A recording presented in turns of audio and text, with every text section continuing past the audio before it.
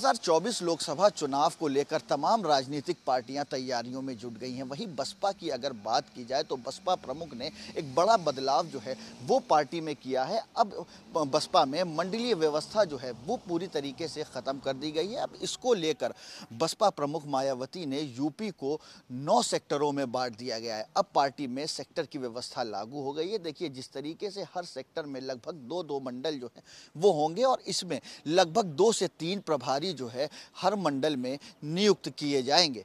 देखिए, जिस तरीके से ये बड़ा बदलाव बहुजन समाजवादी पार्टी की प्रमुख मायावती द्वारा किया गया है, जिसको लेकर देखिए 2022 की अगर विधानसभा चुनाव की बात की जाए या उसके बाद नगर निकाय चुनाव की बात करी जाए, जिस तरीके से जो जनाधार कम होता बहुजन समाज पार्टी का नज़र आया है, जिसको लेकर संगठन को मज़बूत करने के लिए बसपा प्रमुख ने कई बड़े कदम उठाए थे, जिसके बाद अब 2024 की तैयारियों में जुटी बसपा ने एक बड़ा कदम उठाया है और मंडलीय व्यवस्था को समाप्त कर दिया है। लखनऊ से अजहर खान, भारत समाचार।